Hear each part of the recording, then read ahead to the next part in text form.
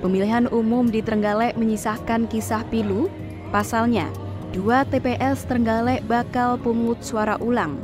Ketua Bawaslu Trenggalek, Rusman Nuryadin mengungkapkan, hasil temuan yang mengantarkan kepada PSU di dua TPS Trenggalek.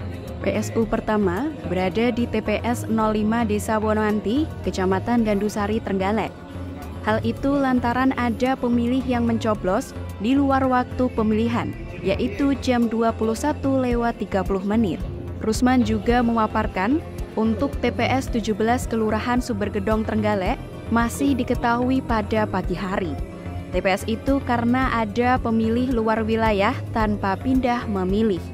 Rusman juga menegaskan, rekomendasi PSU juga berdasarkan konsultasi dari Bawaslu Provinsi Jawa Timur kronologi TPS 5 Wonanti itu seperti informasi yang didapatkan oleh Panwaslu Kecamatan sekitar tanggal 14 Februari tahun 2024 sekitar pukul 22.00 bahwa pada pukul 21.30 terjadi uh, pemungutan suara di sana. Oleh orang yang awal mulanya pada pukul uh, 12 lebih 15 orang tersebut tidak diperkenankan menggunakan hak suaranya. Tapi setelah eh, apa namanya malam hari itu juga eh, KPPS berkonsultasi dengan PPS, PPS berkonsultasi dengan PPK, PPK berkonsultasi dengan Ketua KPU, akhirnya diperbolehkan oleh Ketua KPU untuk digunakan hak apa namanya hak suaranya pada pukul 21.30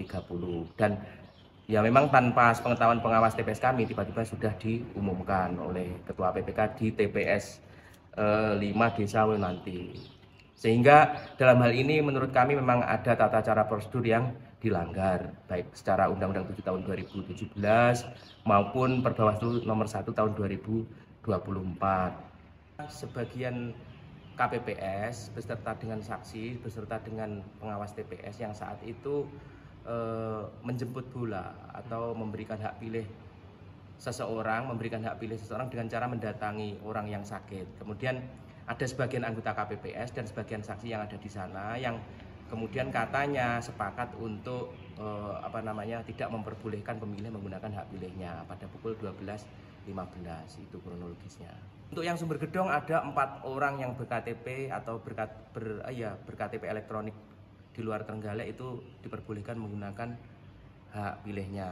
Di TPS 17 Sumber Gedong. Dan baru saja tadi pagi ya informasi kami dapatkan dari anggota Panwaslu Kecamatan.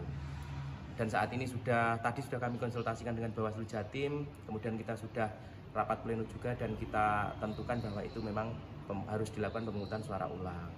Orang ini tidak mengurus dan juga tidak membawa uh, pindah memilih form A pindah memilih. Ya, sempat dimasukkan ke dalam DPK begitu Pak? Iya, yang sempat ya akhirnya kan mungkin KPPS-nya bingung sehingga apa namanya berupaya untuk dimasukkan DPK, tapi kan tetap melanggar tata cara dan prosedur karena memang bukan e, pemilih yang berKTP elektronik Kabupaten Trenggalek. Sementara itu, untuk pelaksanaan PSU adalah 10 hari pasca pemungutan suara saat ini, pihaknya tengah mempersiapkan berkas rekomendasi dan dikirimkan ke KPU Trenggalek. Deva Elisia, Zamsuri, Kabar Trenggalek melaporkan.